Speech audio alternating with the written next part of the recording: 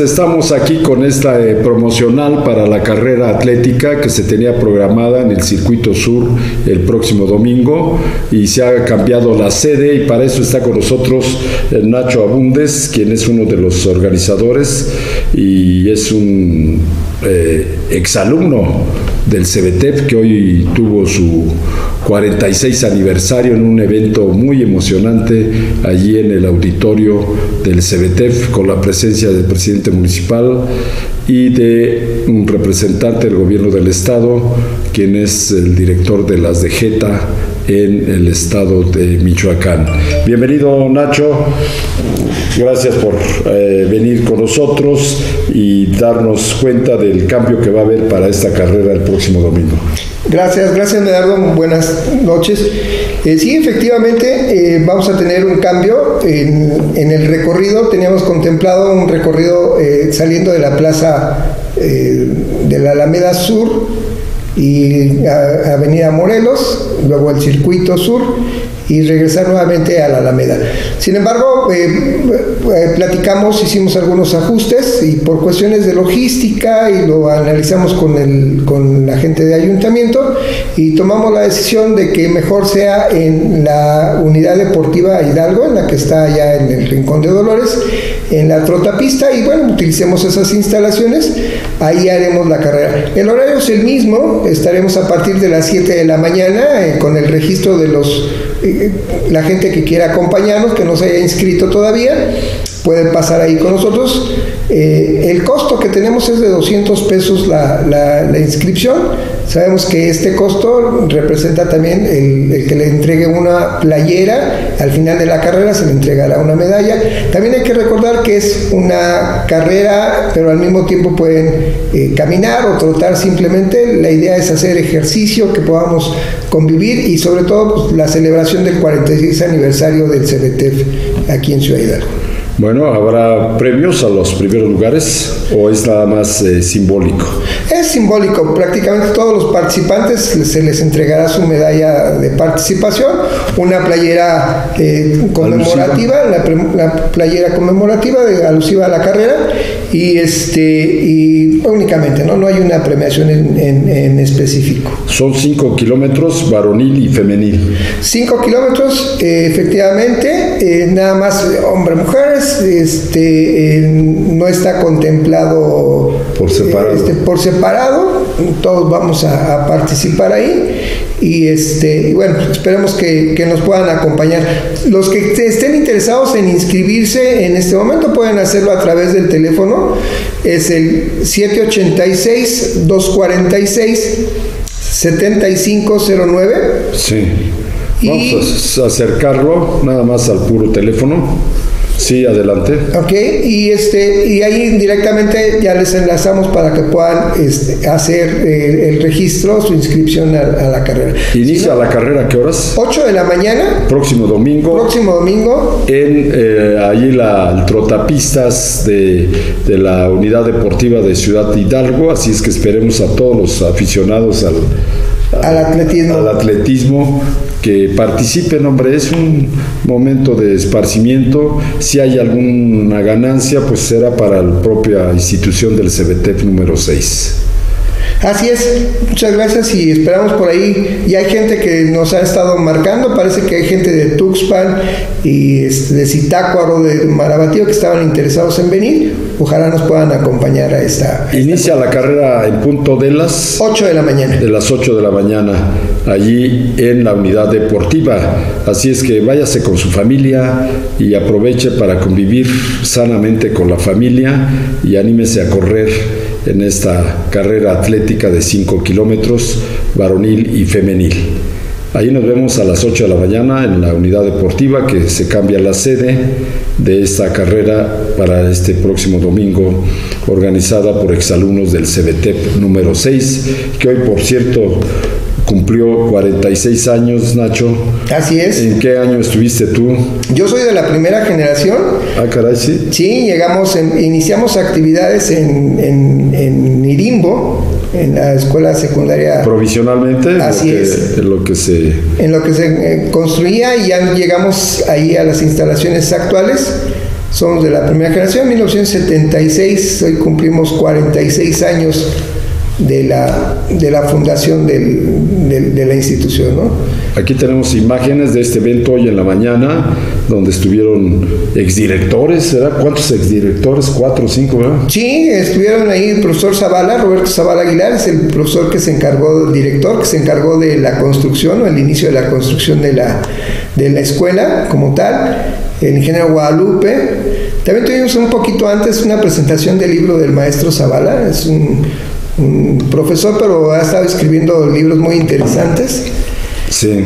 Este, también tuvimos ahí la presencia de algunos este, eh, funcionarios, de exfuncionarios también, eh, que han sido gestores, sobre todo, por ejemplo, tú, que, tú eres uno de los gestores de, esta, de esta institución. Hace, 50 años. 50 años. Hoy nos estábamos acordando cómo fue, no sé si, si, tú supiste cómo fue realmente, cómo fue, inició todo ese relajo de hace 50 años. Una visita del presidente Luis Echeverría a una gira y al pasar frente a la resinera ejidal, un grupo de ejidatarios detuvieron el camión del presidente para pedirle algunas este, intervenciones en algunas gestiones que estaban realizando. Y en ese momento se acercó un, ingeniero, un profesor que estuvo con nosotros, el ingeniero Sergio Adame, y le hizo ver al presidente pues que esta zona requería de una institución de esa de ese nivel eh, y que estuviera en el área forestal. Y de ahí se llevó la idea del señor presidente Luis Echeverría y después, posteriormente, pues ya se empezaron a crear los cebetas y fue como llegó el CBT aquí a Ciudad Hidalgo. Sí, nosotros eh, fundamos el Clarín junto con Mundo Tinajero como director y su servidor subdirector y siempre, pues la idea que nosotros traíamos yo desde que estudié el tecnológico, junto con Tarcisio Herrera y Odilón Martínez, que estaban estudiando también en el tecnológico, allí platicábamos de chavos jóvenes de poder traer una universidad a, Ciudad de Hidalgo. Y hoy tenemos. Y, nadie iba a imaginar que el hermano de Tarcisio Herrera iba a ser el primer rector de la UBAC. Así es. Y en ese entonces también queríamos nosotros, la idea de nosotros era una preparatoria federal, porque no había federal, entonces era por cooperación. Así es, las dos. Y, luego pues, dijimos, ¿por qué no hacer una, una preparatoria con especialidad en forestal?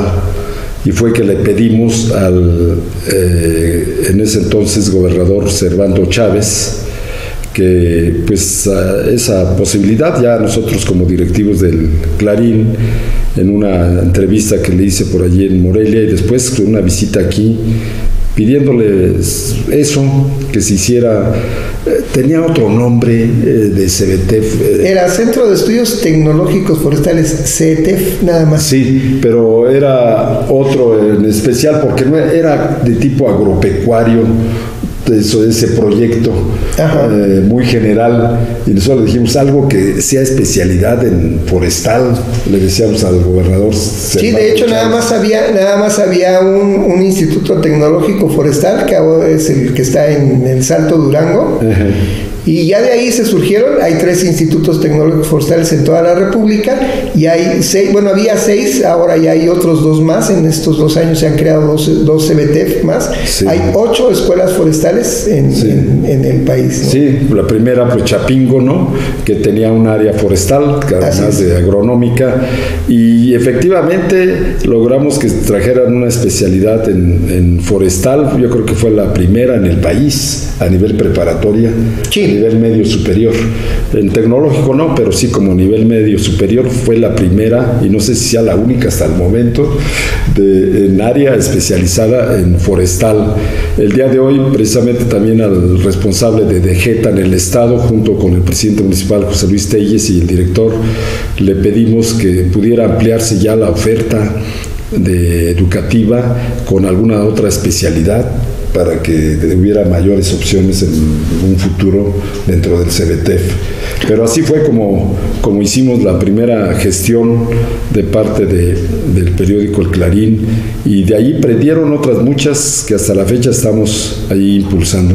Sí, ya ves ahora la ventaja de que ahora hay pues una extensión de la misma universidad este, es una unidad profesional, ¿eh? independiente, dependiente en cierta manera de la estructura de la Universidad Michoacana. Y fueron las dos primeras, la de Lázaro Cárdenas y la de Ciudad Hidalgo, que nos ayudó mucho el hecho de que los cooperativistas, muchos de ellos del área también mueblera, eh, tenían allí casi abandonada esta nave que está ahí junto a la central camionera, que era una bodega cooperativa y se desapareció prácticamente esta cooperativa y precisamente la gestión que andábamos haciendo de traer un nodo a distancia para Ciudad Hidalgo eh, de gran ayuda fue que hayan firmado ellos y se dieran y escrituraran de inmediato a la Universidad Michoacana esa nave.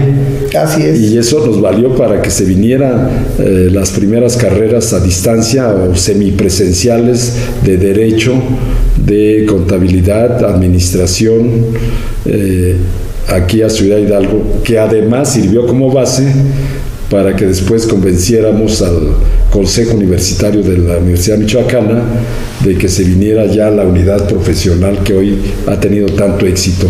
En fin, hemos tenido suerte para las, eh, las gestiones. gestiones educativas. Y qué bueno, ¿no? Porque ha dado muy buenos resultados. Este, yo no soy nacido en Ciudad Hidalgo y sin embargo este, puedo decir que, que me siento orgullosamente ciudadalguense la esposa es de aquí, ¿cómo no mi esposa, ¿Y tus hijos? no, mis hijas. ¿No nacieron aquí? No, ¿Ninguno? No, ninguno, todas son nacidas fuera de la ciudad, pero, mm. pero este, yo me siento parte de esta, de esta población. ¿Cómo no? Ya muchos años. Sí, y agradecido por, por la educación y por, por el tiempo que siempre me han brindado.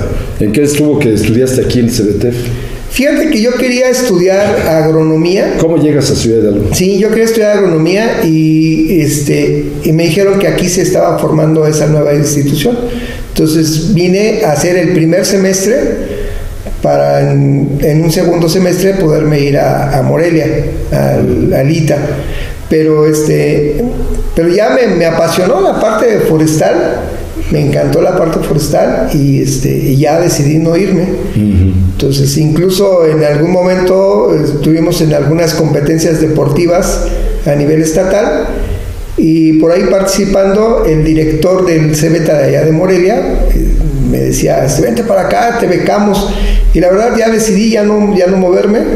Luego, eh, como decía hoy el mismo director, el corazón este, nos llevó con, con nuestra dama. Mi esposa también es egresada del, del CBT. Y este, y bueno, pues ya ya me quedé, ya me quedé aquí en Ciudad Sí, porque el actual director eh, es este, egresado del CBTF y además este, de que es egresado del CBTF, se casó también con una compañera alumna. Así es. Entonces, pues allí todo un éxito. Aquí vemos a los alumnos, miren estas imágenes el día de hoy, muchos estudiantes y con un muy buen nivel académico, también hay que reconocerlo.